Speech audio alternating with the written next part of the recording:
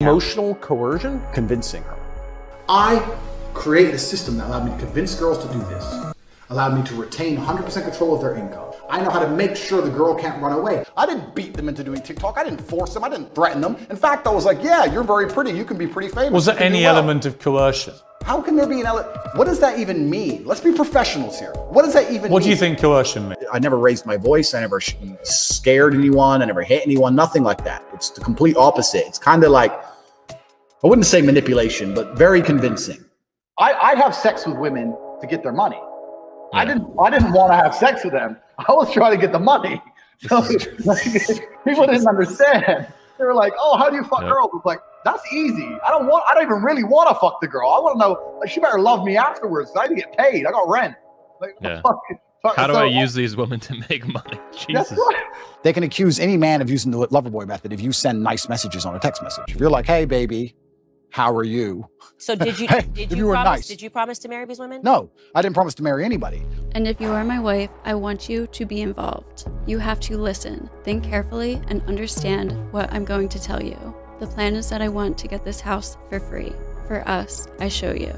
Look how we're going to do it. You start working with G, and you work hard for the other girls to try to catch up with you. You will make a lot of money and keep them all to be rich. But it's important that the girls see you working so that they too want to work harder. So is the house for me or the girls? Actually, it is for me, but that means us, because you are my wife for always. Don't spoil it. Girls don't go to town alone when they are married. You must understand that once you are mine, you will be mine for always. A woman never leaves her man. I will be the last man in your life.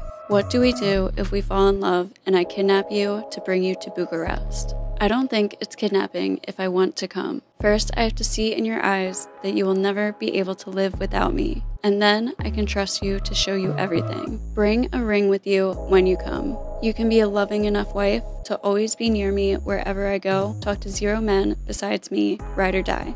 You have to move to Romania with me to keep an eye on you. You are mine. Do not forget that and act like it. We will be together soon. What do you mean I act like one? You should know what it means to be a good wife. I have said many times that you should live in Romania. Have comment ignored. Okay, I'm coming with you. This is my girl. Give me a few hours to make a serious plan. But can I trust you? Yes, you can. You will move to Romania with me. I plan when I get there. First, I might have to go to Prague for a few days, and we'll meet in Romania. I want to know that you are determined, serious about marriage. Yes, I am serious.